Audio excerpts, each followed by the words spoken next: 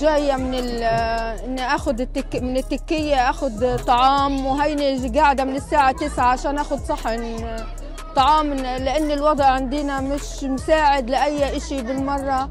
وإحنا من غزة وجينا على رفح ورفح استقبلتنا وبترحب فينا. بس والله الأعداد كثيره والوضع صعب جدا جدا عندنا يعني مش مساعد لأي إشي.